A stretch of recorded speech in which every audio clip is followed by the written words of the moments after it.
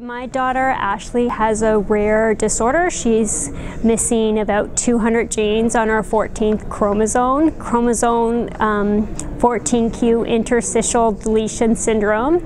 It affects her in many ways. She's actually quite spunky. She's got um, red hair and blue eyes, and she's she's pretty she's a lot of fun but she she needs help so she uses her a wheelchair she has an ipad to communicate with um, and learning to communicate with an iPad um, is complex. It's, it's not easy, and she needs help um, from a speech language therapist to help her learn to do that.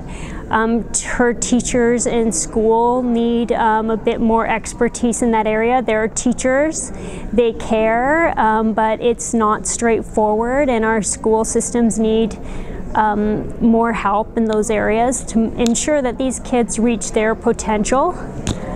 Um, yeah, she has a cognitive um, delay, which affects definitely affects things, but she also. Um, uh, she, you know, she she's fiercely independent, so she uh, she knows how to um, uh, she's learned to she learned to eat when she was four and she can feed herself. She's learned she just learned to drink when she was 12. She's 14 now, but she uh, she she goes over and gets her own things out from the from the cupboards and will play. She can play with her toys, um, and but she she needs she needs help to. Um, uh, to, like to, to move forward and move along. It's not straightforward. We can't leave her alone.